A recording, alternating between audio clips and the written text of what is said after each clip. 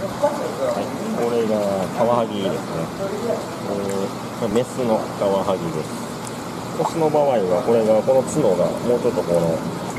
糸糸みたいに、えー、出てきます。でこれ結構尖っててまあ毒とかはないんですけどカモとかにこういうふうにもともとこうザラザラしてる肌質なのでこういうふうになった時にここにこうやって引っかかったりこういうふうに引っかかったりすることがよくあります